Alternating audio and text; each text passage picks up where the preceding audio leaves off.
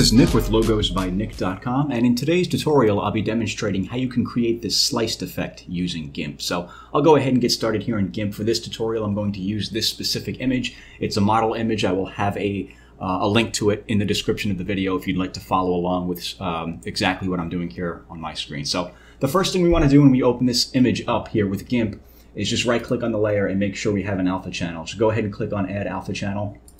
If that's grayed out and you can't click it, that means you already have one, you're good to go. And what we want to do next is get rid of the background. So I'm going to grab the, uh, the fuzzy select tool up here and just going to go ahead and click on the background area. It's going to create a selection around it and just press delete on the keyboard to get rid of it. Or if you're using a Mac, you can go to edit, clear. And then I'm just going to click on this little white area here between the neck and the finger and just press delete on that to get rid of that as well. And then we'll go to select none. So what I want to do next is I want to place a circle over uh, a portion of the head where I'd like to uh, up, where, where I'd like for the uh, slice to happen. So let me zoom in on this area right here just by holding control and rolling up the mouse wheel a couple of times.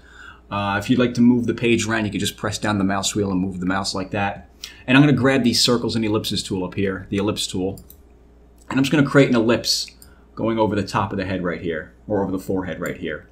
And I want to pay attention to where I have the borders placed. So so I want to zoom in on this area right here and just make sure I have it placed near the edge. You want it almost exactly to the pixel. You don't want it too long. You don't want it sticking out too much, but then again, you don't want it in too much either.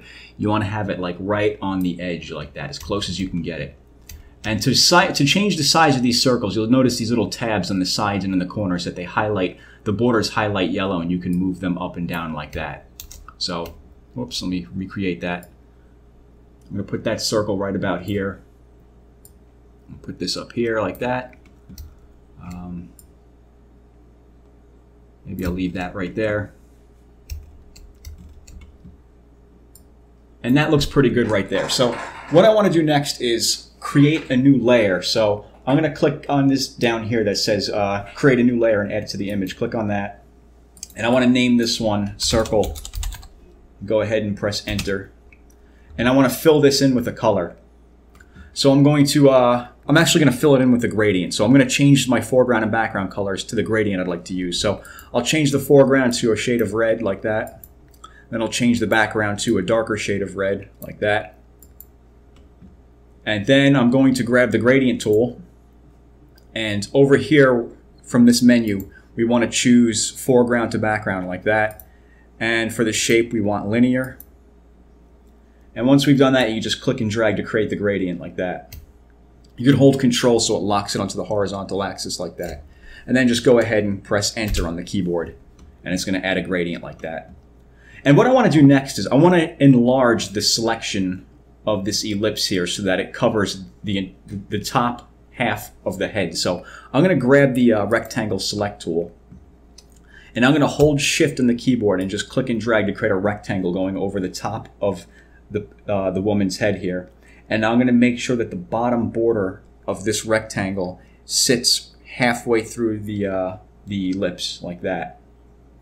And again, it's important you're holding shift while you're doing this. Otherwise, it's going to create just the rectangle. It's not going to add the rectangle to the ellipse selection like you see here on my screen.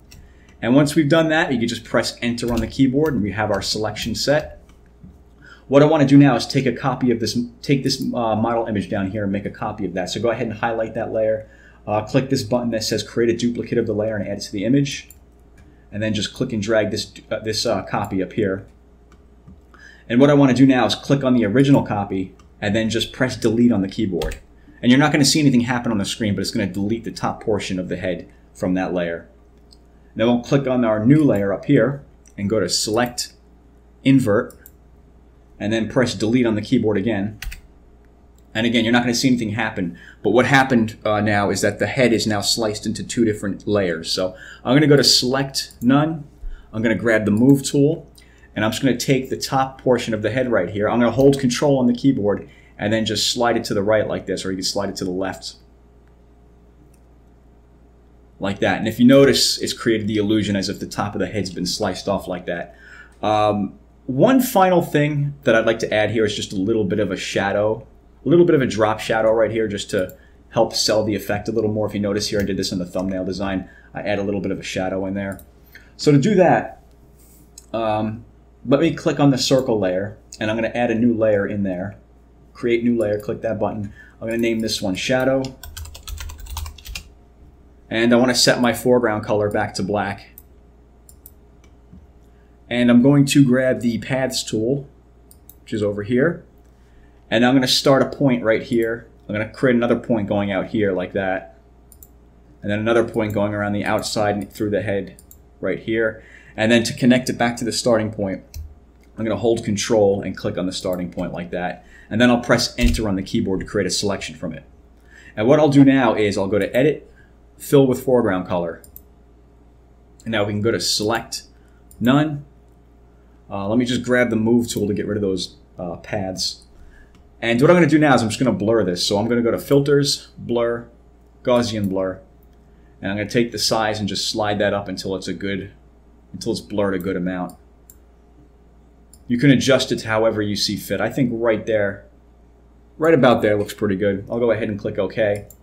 And one final step with the uh, the shadow would be to get rid of the area that's bleeding outside of the uh, the model image here. We want to cut that out. So what I'm going to do is I'm going to click on this image down here, this bottom layer, right click that and go to alpha to selection. Now click on the shadow layer and go to selection, I mean select invert, and then press delete on the keyboard and then go to select none.